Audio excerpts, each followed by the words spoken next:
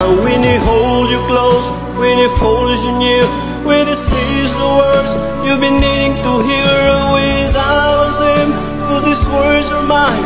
I'll say to you